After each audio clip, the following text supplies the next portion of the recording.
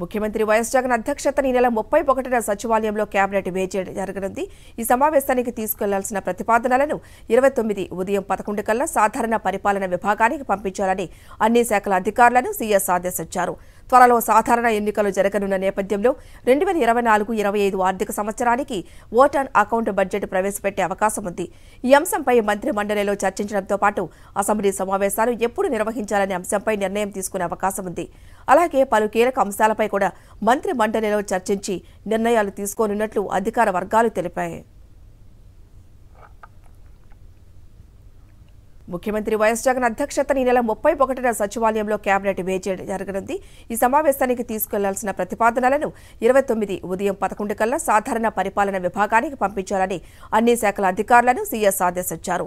త్వరలో సాధారణ ఎన్నికలు జరగనున్న నేపథ్యంలో రెండు వేల ఇరవై నాలుగు ఇరవై ఐదు ఆర్థిక సంవత్సరానికి ఓట్ అకౌంట్ బడ్జెట్ ప్రవేశపెట్టే అవకాశం ఉంది. ఈ అంశంపై మంత్రి మండలిలో చర్చించడంతో పాటు అసెంబ్లీ సమావేశాలు ఎప్పుడు నిర్వహించాలనే అంశంపై నిర్ణయం తీసుకునే అవకాశం ఉంది.